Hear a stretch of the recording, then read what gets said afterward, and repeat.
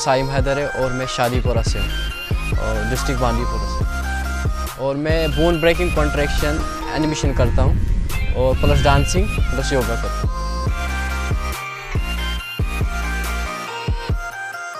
2010 में मैंने स्टार्ट किया था। तो पहले मैं ऐसे बोन ब्रेकिंग करता था आरम का। तो उसके बाद मैंने सोचा कि मैं कुछ अलग अलग करूँ अलग अलग बोन ब्रेकिंग। तो फिर उसके बाद मैं अभी प्रैक्टिस कर रहा हूँ, अभी सब कुछ हो रहा है।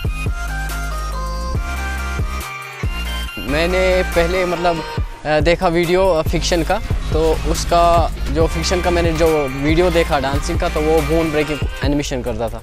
तो मुझे भी शौक हो गया, मैं भी ये करूँ, उसके बाद मैंने ये कंप्लीट कर दिया।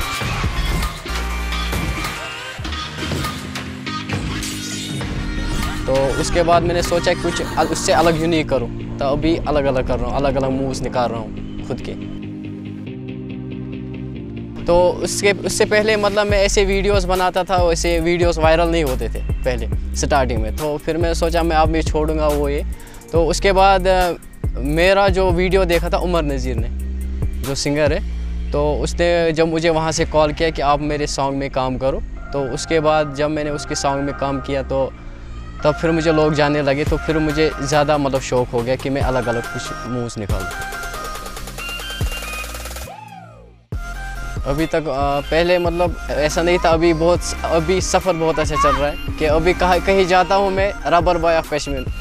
तो कहीं पे जाता हूँ सर सेल्फी सेल्फी। तो पहले ऐसा नहीं था, अभी फुल सपोर्ट कर रहे कोई भी देखता है, खुद सब बोलते हैं कि हाँ अच्छा जा रहे हैं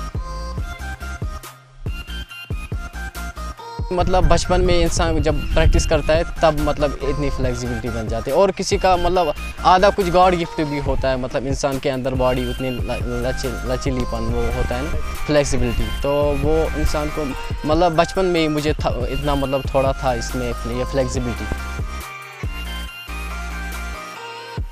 हर कोई नहीं कर सकता। आम इंसान नहीं कर सकता।